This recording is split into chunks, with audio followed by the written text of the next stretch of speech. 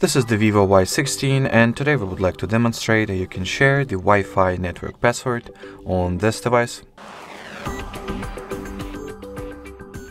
So first of all you gotta get to the Wi-Fi settings page. The quickest way to do that is through the control center. So in here find the Wi-Fi shortcut, touch and hold, then choose what network you would like to share the password of.